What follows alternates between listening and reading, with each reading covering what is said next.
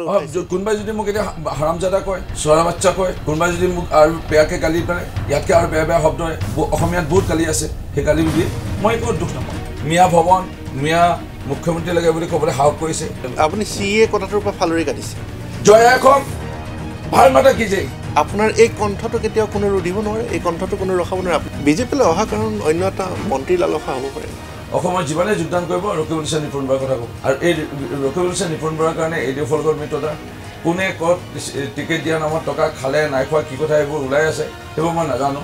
কিন্তু এনেই নোলায় কথাবোৰ কিবা এটা হৈ আছিলে কিবা এটা হৈছে কি কৰিলে জানো দলটো ধ্বংস কৰিলে এই দুজনে। নমস্কাৰ মই আকাশ হাজৰিকা। আজি আমাৰ ষ্টুডিঅ'ত উপস্থিত আছে এই মুহূৰ্তত সবাতোকৈ চৰ্চিত ব্যক্তিজন। মই চিনাকি কৰি দিয়াৰ প্ৰয়োজন নাই। ৰূপজ্যোতি কৰ্মী ডাঙৰীয়া আপোনাক স্বাগতম জনাইছোঁ অনুষ্ঠানলৈ। আজিৰ তাৰিখত সবাতোকৈ আপুনি চৰ্চাত আছে আৰু কাৰণটো সকলোৱে জানে। মই তেওঁ আপোনালৈ প্ৰথম প্ৰশ্ন আপুনি বিজয় বিজেপিলৈ আকৰ্ষিত হৈ পেলাই গ'ল নে কংগ্ৰেছত অতিষ্ঠ হৈ পেলাই আপুনি বিজেপি যোগদান কৰিবলৈ আগবাঢ়িছে?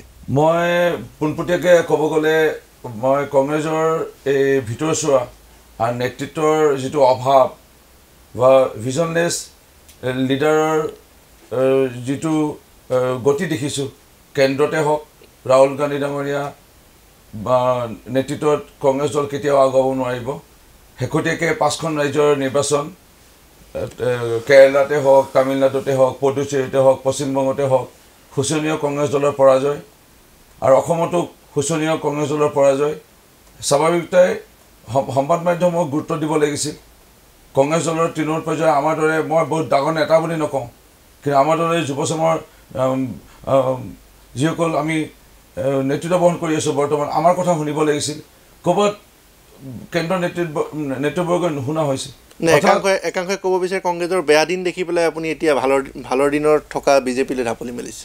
মই যদি এইটো কংগ্ৰেছৰ বেয়া দিন বুলি ক'লে ষোল্ল চনৰ নিৰ্বাচনৰ পিছতে যদি যোগদান কৰাহেঁতেন তেতিয়া এই প্ৰশ্নটোৰ উত্তৰটো চাগে বোধহয় হোৱালেহেঁতেন কিন্তু এতিয়া যদি মই চাওঁ ষোল্ল চনত দেখা আমি দেখা পাইছিলোঁ যে বিজেপি দলৰ চৰকাৰ আহিছে।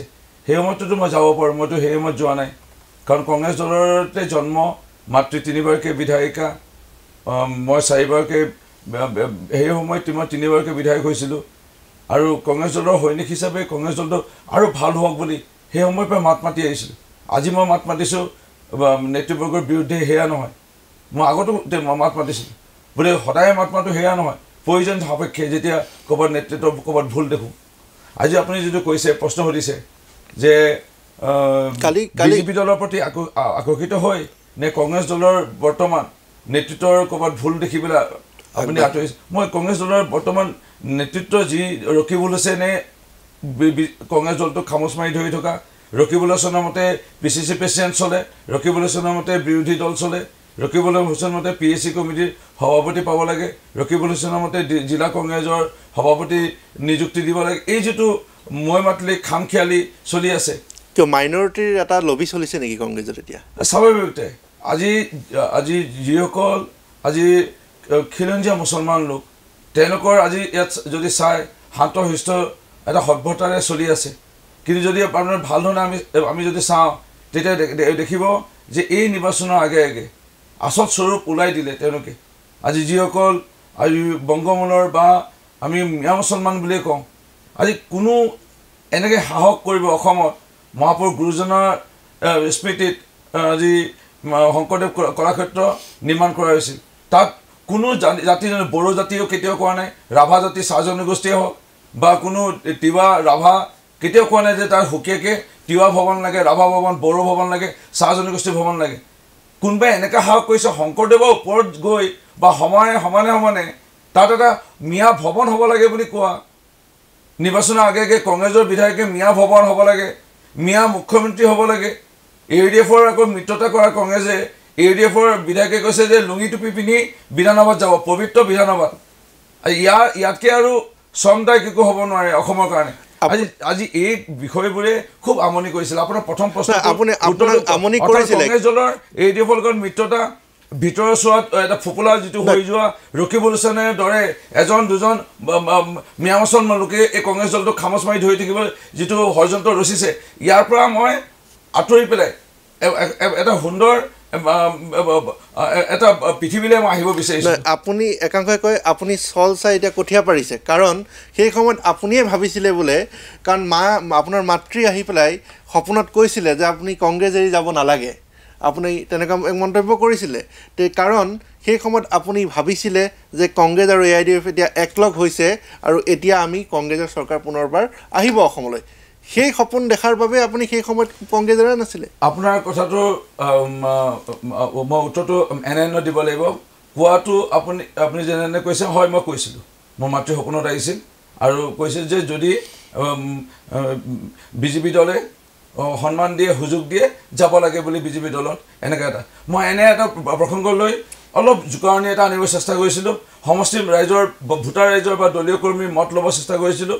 আৰু সেয়া কিন্তু মই কৰিম বুলি ইচ্ছা কৰিলে মই নিৰ্বাচনৰ ষোল্ল পিছতে হওক ষোল্ল আগতে হওক বা পিছতে হওক ওঠৰ চনৰ পঞ্চায়ত নিৰ্বাচন ঊনৈছ চনৰ লোকসভা ইলেকশ্যন শেষলৈকে দুহেজাৰ বিছ চনৰ কোনো এজন বিজেপি নেতা মই নাম উল্লেখ কৰিব নিবিচাৰোঁ যেতিয়া ৰাজদীপ গৌলা যোনদিনাখন যাব ৰাজ্যসভাৰ নিৰ্বাচন শেহতীয়া অতনু মোৰ ভুল হৈছে অজিত ভূঞা ডাঙৰীয়া নিৰ্বাচিত হৈছে সেই দিনাখনে উক্ত দিনাখনে ৰাজদীপ গৌলা ডাঙৰীয়া আহি আছে। আপুনি যদি আহে আপোনাকো আদৰণি জনাইছোঁ আমি সন্মান দিম। আমাক কোৱা হৈছে কিন্তু আমিতো যোৱা নাছিলোঁ। এই একৈছ চনৰ নিৰ্বাচন কংগ্ৰেছতে আমি খেলিলোঁ। আৰু শেষ মুহূৰ্তলৈকে আমি কৃপলনি কৰা নাছিলোঁ। বিজেপি দলৰ চৰকাৰ বিজেপি দলৰ ক'ৰবাত যদি ভুল নীতি কংগ্ৰেছৰ দৃষ্টিত দেখা পাইছিলোঁ সেই সময়লৈ মাত মাতিছিলোঁ। আৰু মইতো বোলে বোলে বোলে এতিয়া স্বাৰ্থলোভী পদবী লাগে। স্বাৰ্থলোভী এতিয়া বোলে দায়িত্ব বিষয় বা মন্ত্ৰী লাগে আজি স্পষ্ট মই যোৱাকালি কৈছোঁ সংবাদ মাধ্যমৰ আগত অসমৰ মাননীয় মুখ্যমন্ত্ৰী ডক্টৰ হেমন্ত বিশ্ব শৰ্মা ডাঙৰীয়াকো মই যোৱাকালি ৰাতি এটা বজাৰ পৰা ৰাতি দুটা দহলৈকে এঘণ্টা দহ মিনিট কথা পাতিছোঁ। মই একেটা এটাই কৈছোঁ যদি মই যদি মন্ত্ৰী বিচাৰোঁ বা কিবা পদবী বিচাৰোঁ আপোনালোকৰ মাজৰ পৰা কোনোবাই হ'লেও আপোনাক ক'ব যে মই স্বাৰ্থলোভীৰ কাৰণে এতিয়া আহিছোঁ। বা বিজেপি ভাল দিনত। মই সেই বুলি বা- মই- একো চুক্তি নাথাকে মোৰ। মোৰ এটাই থাকিব মোক প্ৰাৰ্থিত্ব দিয়ে নিদিয়ে মই সেয়াও মই কোৱা নাই। এইটো মাননীয় মুখ্যমন্ত্ৰী বিজেপি দলৰ ৰাজ্যিক সভাপতিয়ে নিৰ্ধাৰণ কৰিব। কিন্তু এটাই দেখিছোঁ আজি মাতৃভূমি মাতৃভাষা ক'ৰবাত সংকটত। এইপিনে মোৰ মা জন্মদাত্ৰী মাতৃ মায়ে মাৰ মতে মই কংগ্ৰেছ দলতে আছিলোঁ। আজি মই মাৰ প্ৰতিচ্ছবি আগত আঁঠুকাৰী মা সেৱা কৰি পেলাই চকু পানী টুকিহে আজি আহিব লগা হৈছে কংগ্ৰেছ দল ত্যাগ কৰি পেলাই এই বিজেপি দল এই চকু পানীটো কিয় টুকিবলগীয়া হৈছে? কোনে বাধ্য কৰাইছে? কংগ্ৰেছত আচলতে ঘটিছে কি ভিতৰ চোৱাত চকুপানী টুকিবলৈ বাধ্য কোনে পেলাইছে? হয়তো মাৰ কংগ্ৰেছ দল মাৰ লগত মোৰ মোৰ মাতৃ হিচাপে মোৰ মাতৃৰ প্ৰতি শ্ৰদ্ধা ভক্তি আৰু হয়তো সেই মায়ে থকা এই দলটোত ময়ো আছিলোঁ। আজি ইমান পুৰণা দল এটা মই এৰি পেলাই কংগ্ৰেছ দল ত্যাগ কৰি আজি বিজেপি দলত আহিব লগা হৈছে। মা কৈছোঁ যদি কিবা দায় দোষ যদি আছেও মাফ কৰিবি।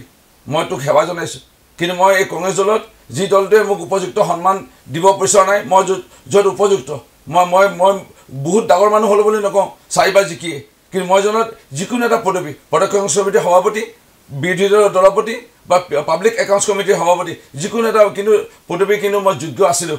কিন্তু যোগ্যতাৰ কোনো স্থান নাই যেন লাগে। শচীন পাইলটকো গুৰুত্ব নিদিলে জ্যোতিদাস সিন্ধাকো গুৰুত্ব দিয়া নাই ইয়াত মোকো গুৰুত্ব দিয়া নাই অৰ্থাৎ বৃদ্ধ আৰু জ্যেষ্ঠ আৰু ক'ৰবাত কংগ্ৰেছ সংখ্যালঘু দল হ'বলৈ গৈ আছে নেকি? সংখ্যালঘু সংখ্যালঘু এ ডি এফৰ লগত মিলি সংখ্যালঘু হ'ব গৈ আছে নেকি? মাইনৰিটিৰ লগতে চলিব বিচাৰে নেকি? সেইটো যিটো সেইটো যোনটো এটা ৰাজনীতি আৰম্ভ কৰিছে তাৰ পৰা মই আঁতৰি আহি পেলাই অসমখনৰ কাৰণে আজি ডক্টৰ হেমন্ত বিশ্ব শৰ্মাৰ নেতৃত্বত যেনে যেনে কাম আৰম্ভ কৰিছে এই সময়তে মোৰ যদি বয়সো আছে ৰাজনীতি কৰিবই লাগিব ৰাইজক সেৱা কৰিব লাগিব আৰু মই যদি কংগ্ৰেছ দলত থাকোঁ দহ পোন্ধৰ বছৰ বিছ বছৰটো পঁচিছ বছৰলৈকে ডক্টৰ হেমন্ত বিশ্ব শৰ্মা থাকিবই যিটো ছবি। অঁ কংগ্ৰেছৰ যদি নেতা ভাল জন্ম হয় কিন্তু কংগ্ৰেছৰ নেতা কোন আছে? আপোনাকে যদি মই সুধোঁ ৰিপুণ বৰা যিজনৰ নেতৃত্বত আজি কংগ্ৰেছ বিধ্বস্ত ৰকিবুল হুছেইন আজি যোনে মুখৰ মাত নামাতে দেৱব্ৰত শইকীয়া আজি সংখ্যালঘু ভোটৰ ওপৰত যদি নিৰ্ভৰ নকৰে ভোটত বলিলে জিকিব নোৱাৰে গগৈ জিকিব নোৱাৰে যাৰ কাৰণে তেওঁলোকৰ মুখৰ মাত নাই কংগ্ৰেছটোক কোন নেতাই ধৰি ৰাখিব এতিয়া? এতিয়া তাত যে লবি নেতা নেতা অভাৱ ঘটিছে কংগ্ৰেছত আৰু কংগ্ৰেছত কোৱা শুনো লবি ৰাজনীতি আছে। আপুনি কোনটো লবিত আছিলে?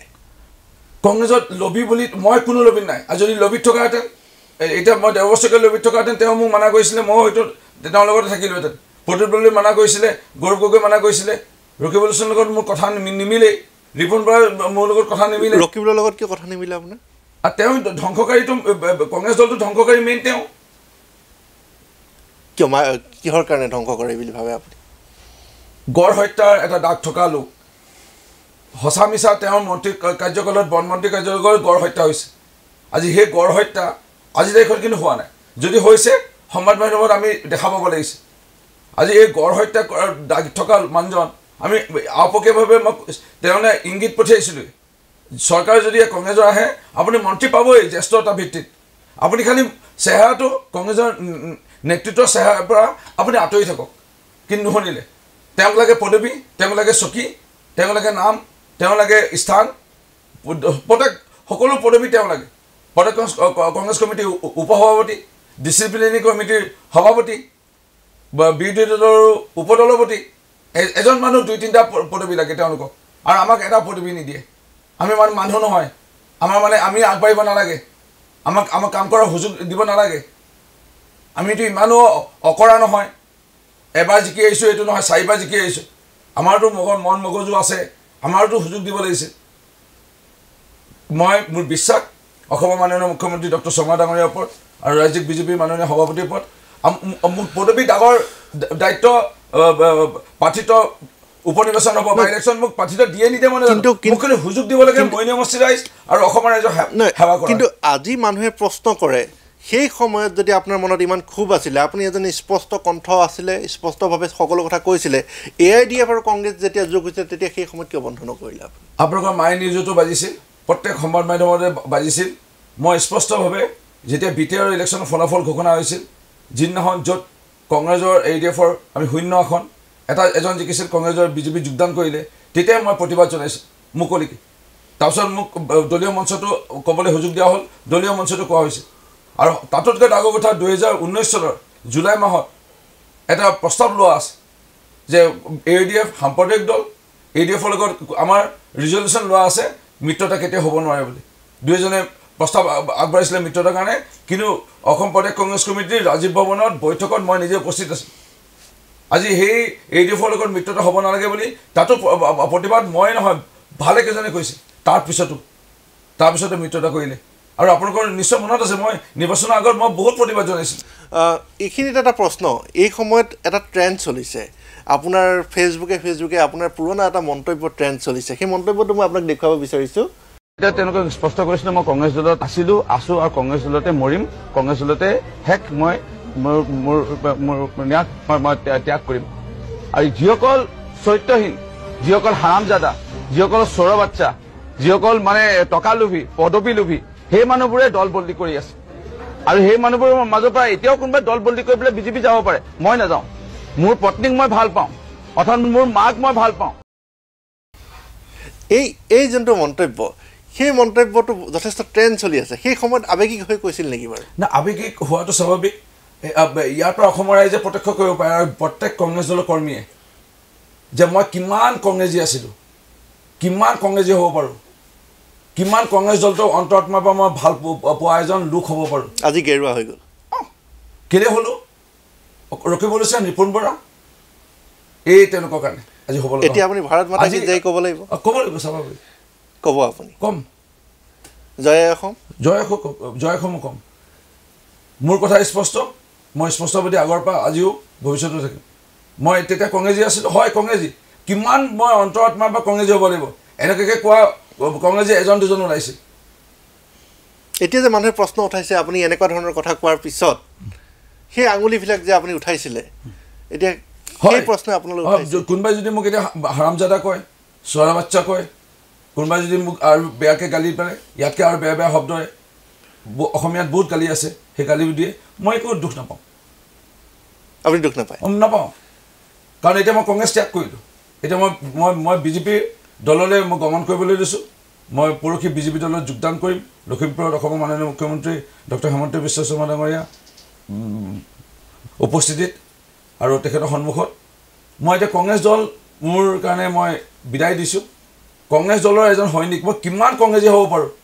এই ভিডিঅ'টোতে প্ৰমাণ কৰে। বহু এনেকুৱাকৈ আছে ভিডিঅ' মই এটা সময়ত। কংগ্ৰেছ দলৰ কাৰণে কান্দিছিলোঁ। কংগ্ৰেছ দলৰ কাৰণে ভোকে ভোকত থাকি। ঘৰৰ ভাত এৰি কংগ্ৰেছ দল বুলিলে পাগলৰ দৰে ৰাতিপুৱা ৰাতি ৰাতিপুৱা পৰা ৰাতিলৈকে ঘূৰিছিলোঁ। মা থকা অৱস্থাত মই N S Y youth Congress কৰিলোঁ। পোষ্টাৰ বেনাৰ লগাই ৰ'দে বৰষুণে তিতি মেলি পোষ্টাৰ বেনাৰ লগাইছিলোঁ। বহুত কৈছিলোঁ গছৰ ওপৰত উঠি পেলাই বেনাৰ লগাইছিলোঁ কংগ্ৰেছৰ কাৰণে। কংগ্ৰেছৰ কাৰণে কৰিলোঁ। কিন্তু আজিৰ তাৰিখত কংগ্ৰেছ ৰখিবলৈ চাই নিপুণ বৰা। সেই কংগ্ৰেছত মোৰ থাকিব মন নাই। এতিয়া সেইকাৰণে আপুনি আজি গেৰুৱা হ'ল। এতিয়া বিজেপিৰ কিছুমান আদৰ্শ আছে। সেই নীতি নিয়মসমূহ আপুনি এতিয়া মানিব লাগিব। কাৰণ। বিজেপিৰ যথেষ্ট এটা ষ্ট্ৰিক্ট দল তাত সকলোৱে যোনটো দায়িত্ব দিয়া সেই দায়িত্ব সেইমতে মানিব লাগে। তেওঁ আৰু এটা বিষয় আছে যে বিজেপিয়ে দলটোৱে চি এ এক মানে আপুনি চি এক লৈ বহুত প্ৰতিবাদ কৰিলে বহুত মন্তব্যও ৰাখিলে। এতিয়া আপুনি চি এ মানিব লাগিব। স্বাভাৱিক। মানিব আপুনি। মানিব। ৰাইজে ভোট দিছে কাৰ সপক্ষে বুলি ক'লেও ভুল নহ'ব যেন মই অনুভৱ কৰোঁ। আজিৰ পৰা দুই তিনিদিন আগতে বেছি দিনৰ আগত নহয় আপুনি আন্দোলনত বহিছিলে এইখন চৰকাৰৰ বিৰুদ্ধে কাৰণ নগাৰ সমস্যা সমাধান কৰা হোৱা নাই সীমাৰ সমস্যা। এই এতিয়া আপুনি দললৈ যিহেতু যাব সেই সমস্যা আপুনি কিমান প্ৰাধান্য দিব? চাওক অসমৰ মাননীয় মুখ্যমন্ত্ৰী ডক্টৰ হিমন্ত বিশ্ব শৰ্মাৰ লগত মই যোৱাকালি ৰাতি এক বজাৰ পৰা দুই দহ বজালৈকে বহুতে মই অন্য বহুত প্ৰসংগ পাতিছিলোঁ মাইক্ৰ' ফাইনেন্সৰ কথা পাতিছিলোঁ ছাৰ এইটো যে বহুত চৰ্চা চলি আছে জুলাইত মইতো দিম তেওঁলোকক। দিয়া আৰম্ভ কৰি দিম অলপ অলপ। একেলগতে বহুত টকা। ইমান দিব নোৱাৰি ইমান যে মানুহে লৈ থৈছিলে মই জনা জনা নাছিলোঁ। অলপ অলপকৈ দিম। তাৰপিছত চাহ জনগোষ্ঠীৰ সন্দৰ্ভত মই সুকীয়াকৈ তেওঁলোকৰ চাহ জনগোষ্ঠী বুলি পেলাই আমি এটা কোটা বেলেগ এটা স্পেচিয়েল কোটা দিয়াৰ চেষ্টা কৰিম। মই সকলো জাতি জনগোষ্ঠীৰ কাৰণে কাম কৰিম। কিন্তু আৰু লগতে যেতিয়া মই প্ৰসংগটো আনিছিলোঁ যে অৰুণোদয় আৰু দিব নেকি বোলে অৰুণোদয় আৰু দিম। অৰুণোদয় আৰু আৰু বঢ়াম সংখ্যাও বঢ়াম প্ৰত্যেক সমষ্টিত দুখীয়া মানুহৰ আমি দিয়া ব্যৱস্থা কৰিম আৰু পৰিমাণটো বঢ়াম। বোলে পৰিমাণটো অলপ অলপ বঢ়াম। বহুত আৰু আপুনি যিটো প্ৰশ্ন আছিল যে মই প্ৰতিবাদ কৰিছিলোঁ আৰু আজি মই বিজেপি দলত গমন কৰিবলৈ লৈছোঁ এতিয়া স্থিতি কি হ'ব? মই নাগালেণ্ডৰ অসম নাগালেণ্ড সীমা সমস্যাৰ বিষয়ে কথা পাতিছোঁ। তেখেতে এই ক্ষেত্ৰত স্পেচিয়েল মানে গোটেই বিষয়টো অধ্যয়ন কৰিছে।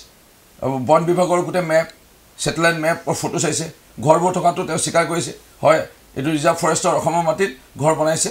আৰু মই ইতিমধ্যে নাগালেণ্ডৰ মুখ্যমন্ত্ৰী ৰিঅ' ডাঙৰীয়াৰ লগত কথা পাতিছোঁ। বা আমাৰ মুখ্যমন্ত্ৰীগৰাকীয়ে নাগালেণ্ডৰ মুখ্যমন্ত্ৰীৰ লগত কথা পতা। এইবোৰ উঠাই লোৱাৰ ব্যৱস্থা কৰা। কমটি দিনৰ ভিতৰত সভা হ'ব। আৰু সেই সেই সভাতে সিদ্ধান্ত লৈ ঘৰবোৰ উঠাই লোৱা হ'ব। এই বিতংভাৱে আমি বহু কথা পাতিছোঁ। সেইকাৰণে মই আশ্বস্ত হৈছোঁ যে সীমা সমস্যাটো সমাধানৰ পথ দিশে গৈ আছে। এটা কথা স্পষ্ট। কাৰণ আপুনি এটা মুক্ত কণ্ঠ সেয়া যোনেই দল নহওক কংগ্ৰেছতো আপুনি নিজৰ মন্তব্য ৰাখি আহিছিলে। এতিয়া যথেষ্ট সাহসিকতাৰে আপুনি নিজৰ বিধায়ক পদ ৰিজাইন কৰি আপুনি এতিয়া বিজেপি যোগদান কৰিছে। তাত পুনৰবাৰ নিৰ্বাচন খেলে নেখেলে সেয়া আপুনি এতিয়ালৈকে ভবা নাই বুলি ক'লে। কিন্তু এটা কথা বিজেপিটো যদি আপুনি থাকে আপোনাৰ এই কণ্ঠটো কেতিয়াও কোনো ৰুধিব নোৱাৰে। এই কণ্ঠটো কোনো ৰখাব নোৱাৰে। আপুনি যিখিনি বিচাৰে ৰাইজৰ হকে সেইখিনি স্পষ্টভাৱে কৈ যাব চাগে। ছাৰ মোৰ মোক বিশ্বাস আছে আপুনি যিটো ক'লে তুলনামূলকভাৱে কংগ্ৰেছতকৈ বিজেপি হয়তো আপুনিও যিহেতু জ্যেষ্ঠ এজন সাংবাদিক কোনো কোনোৰ পৰা চাগে আপুনিও অৱগত যে বিজেপি খুব ডিচিপ্লিন থকা দল। আৰু মই জনাত মই ডিচিপ্লিন মানি চলিব লাগিব। কংগ্ৰেছত হয়তো কোনো নেতাবিহীন হৈ- পৰিছিল। আমাক কোনো ক'ব মানে ক'বলৈ সাহস কৰা নাছিল বা কোৱা নাছিল যে এইটো কৰিবা এইটো নকৰিবা সংবাদ মাধ্যমত এনেকৈ নক'বা দলীয় মঞ্চত ক'বা। কোনো তেনেকুৱা আমাৰ কোৱা মানুহ নেতা বুলিবলৈ আমাৰ নোহোৱা হৈ পৰিছিল। কিন্তু বিজেপিত জানো মই অসমৰ মাননীয় মুখ্যমন্ত্ৰী মহোদয়। মাননীয় বিজেপি দলৰ ৰাজ্যিক সভাপতি মহোদয় আছে। আৰু বহু এনেকুৱাকৈ নেতা আছে। তেওঁলোকৰ মতে দল সাংগঠনিক দিশ সকলো চলি আছে। মই জানো মই খুব ডিচিপ্লিন মানি চলিব লাগিব। সেইকাৰণে সোমবাৰে মই নিশ্চয় যোগদান কৰাৰ লগে লগে মই এটা নিৰ্দেশনা পাম। সেই নিৰ্দেশনা মৰ্মে সেইদিনাখনৰ পৰাই দলীয় নীতি আদৰ্শ মানি যেনেধৰণে চলিব লাগে মই নিশ্চয় চলিম। মানে এতিয়া ৰূপজ্যোতি কৰ্মীয়ে দলৰ স্বাৰ্থ আৰু ৰাইজৰ স্বাৰ্থ দুইটা বৰ্তাই পেলাই চলিবলৈ চেষ্টা কৰিব। স্বাভাৱিক। মোৰ লক্ষ্য এটাই মৰিনী ৰাইজে মোৰ মাক বহুত মৰম দিলে মোকো বহুত মৰম দিলে। মোৰ মৰিনীৰ ফাৰ্ষ্ট তাৰ দ্বিতীয়তে গোটেই অসম। সেইকাৰণে মোৰ ৰাজ্যখনো চাব লাগিব আৰু মৰিনী মোৰ সমষ্টি। বিজেপিলৈ অহা কাৰণ অন্য এটা মন্ত্ৰীৰ লালসা হ'ব পাৰে নেকি? চাওক মই স্পষ্ট সংবাদ মাধ্যমৰ আগতো ক'লোঁ আৰু যোৱাকালি মই যেতিয়া এঘণ্টা দহ মিনিট মাননীয় মুখ্যমন্ত্ৰীৰ লগত কথা পাতিছোঁ মই যদি বিচাৰোঁ বা মোৰ শুভাকাংক্ষী কোনোবাই কেতিয়াবা আপোনাক ক'ৰবাত লগ পাই ৰূপজ্যোতি কৰ্মী ডাঙৰীয়াই যোগদান কৰিলে ইমান দিনৰ বিধায়ক পাৰিলে মন্ত্ৰী দিব কাৰো কথা নুশুনিব কাৰণ সেয়া যদি হয় বিচাৰোঁ বা কোনোবাই শুভাকাংক্ষীয়ে বিচাৰি দিয়ে সেই ডাঙৰ এটা অপৰাধ হ'ব মোৰ কাৰণে কিয়নো বিজেপি দলৰ ভাল ভাল নেতা খুব গুণী জ্ঞানী লোক আৰু বহু বিজেপি দলৰ কাৰণে কষ্ট কৰা মইতো সোমবাৰে যোগদান কৰিমহে কোনোবা হয়তো পোন্ধৰ বছৰ বিছ বছৰ আছে বিজেপি দলত পঁচিছ বছৰ আছে তেওঁলোকে মন্ত্ৰী নাপায় বা পদবী নাপায় মই পালে মানুহেও হাঁহিব মই বিচৰা। কৰ্মদক্ষতাটো কৰ্মদক্ষতাওতো চাব মোৰ মোৰ স্পষ্ট মই এ, মোৰ ক- কথা থাকিব। মোক প্ৰাৰ্থিত্ব দিয়ে নিদিয়ে নাজানো। আৰু বা এই মন্ত্ৰী এইটোতো দূৰৰ কথা। অধ্যক্ষ এইবোৰ দূৰৰ কথা। মই এটাই বিচাৰিম খালি মোক কাম কৰাৰ সুযোগ। কাৰণ মোৰ মন আছে বহুত। সময় দিব পাৰিম। আৰু সেইটো মোক আস্থাত ল'ব বুলি আশা ৰাখিছোঁ। শেষৰ ফাললৈ আমি আহিছোঁ। এই বিজেপিলৈ আহিম নাহিম এয়া পৰিকল্পনা কেতিয়াৰ পৰা আছিলে আৰু বিজেপিৰ ফালৰ পৰা কোনে আপোনাৰ লগত যোগাযোগ কৰিছিলে দুহেজাৰ ষোল্ল চনৰ আগত মই বিজেপিৰ হাৱা মোদীৰ হাৱা বিভিন্ন চলি আছিল সেই সময়ত ডক্টৰ হেমন্ত বিশ্ব শৰ্মাও বিজেপি দলত যোগদান কৰিলে আমাৰ সতীৰ্থ বহু পীযুষ হাজৰিকা জয়ন্ত মল্ল বৰা বৰা ডাঙৰীয়া পল্লৱ লোচন দাস ডাঙৰ ভালেকেইজন যোগদান কৰিলে আপুনি যদি কৈছে পৰিকল্পনা কি- কিমান দিনৰ পৰা আছিলে বিজেপি যোগদান কৰে পৰিকল্পনা হঠাৎ হোৱা। পৰিকল্পনা থকা হেঁতেন মই দুহেজাৰ ষোল্ল আগত যাওঁ। ষোল্লৰ পিছত জিকিলোঁ। বিজেপি চৰকাৰ হ'ল। জিকিলোঁ আৰু এতিয়া এতিয়াও যদি মই যাওঁ বাই ইলেকশ্যন হ'ব মই জিকি যাম। ষোল্লতে মই পিছতে যাব পাৰোঁ লগে লগে নগ'লোঁ। ওঠৰ ঊনৈছ পঞ্চায়ত লোকসভা। আকৌ মই পুনৰ গৈছোঁ। দুহেজাৰ বিছ যোৱা বছৰ। অজিত ভূঞা ডাঙৰীয়া যেতিয়া নিৰ্বাচন হৈছে ৰাজ্যসভা তেতিয়াও মোক কৈছিলে ৰাজদীপ গোলা যোৱা সময়ত আপুনি আহক। আপোনাক সন্মান দিয়া হ'ব। মই যোৱা নাই। একৈছৰ আগত ঠিক কেইদিনমানৰ আগত জানো দেখা পাইছোঁ দৃশ্য। এই লগত মিত্ৰতা উজনি অসমত ক্ষতি কৰিব যিটো কৰিলে বাৰে বাৰে কৈছিলোঁ ৰাইজৰ দল জাতীয় পৰিষদৰ লগত মিত্ৰতা কৰিবলৈ নুশুনিলে। বাৰে বাৰ কৈছিলোঁ। সংবাদ মাধ্যমত তেটোফালে চিঞৰিলোঁ। ৰাজীৱ ভৱনৰ মিটিঙতো ক'লোঁ। মাননীয় জিতেন্দ্ৰ সিং ডাঙৰীয়া আহিছিলে তেওঁকো ক'লোঁ। কোনো নুশুনিলে। মেইল পঠিয়ালোঁ লেটাৰ চিঠি পঠিয়ালোঁ হাইকমাণ্ডলৈ ৰাহুল গান্ধী ডাঙৰীয়া সোনিয়া গান্ধী মহিলানী কোনো নুশুনিলে। নুশুনিলে। আপুনি কৈছে পৰিকল্পনা পৰিকল্পনা নাছিল। এইবাৰ একৈছত জিকিলোঁ চতুৰ্থবাৰৰ বাবে। জিকাৰ পিছত দেখিলোঁ বিৰোধী দল দলপতি হ'ব পাৰিম।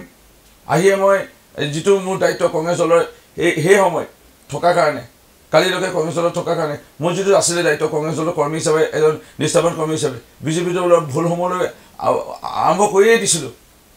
কিন্তু দেখা দেখা পালোঁ যে প্ৰদেশ কংগ্ৰেছ কমিটিৰ সভাপতি ৰিপুণ বৰা পদত্যাগ কৰাৰ পিছতো চাহ জনগোষ্ঠীৰ পৰা মই অকলে জিকি আহিছিলোঁ। মোক অত্যন্ত সেই সন্মানটো দিব লাগিছিল। চাহ জনগোষ্ঠীৰ ভোটাৰসকলক ধৰি ৰাখিবলৈ সেইটো নকৰিলে। ইয়াৰ পিছতে চি এল পি লিডাৰটো নিদিলে। তাৰপিছত P C C president C L P leader দুটাই নিদিলে।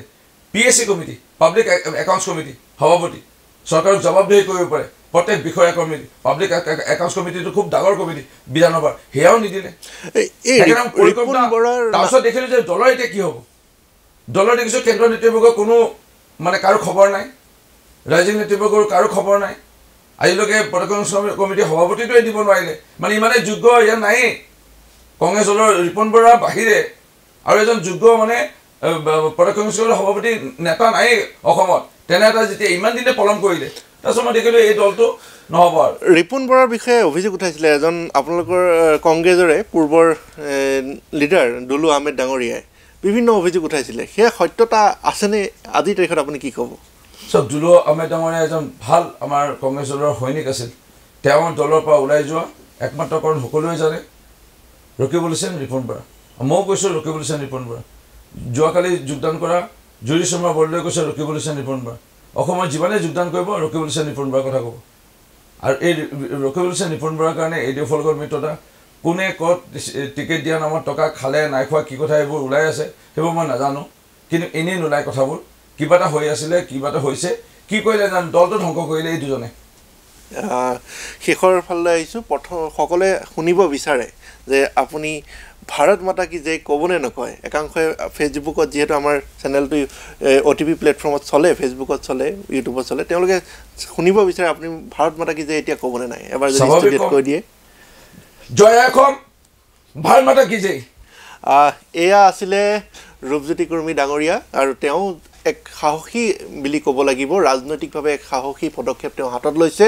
তেওঁ মৰিয়ানী সমষ্টিৰ ৰাইজৰ স্বাৰ্থৰ বাবে এই পদক্ষেপ লোৱা বুলি তেওঁ মন্তব্য কৰিছে। আগন্তুক সময়ত তেওঁৰ ৰাজনৈতিক ভৱিষ্যত সফল হওক ভাল হওক আমি তাকে কামনা কৰিলোঁ। ধন্যবাদ। চাই থাকিব মাই নিউজ এনি।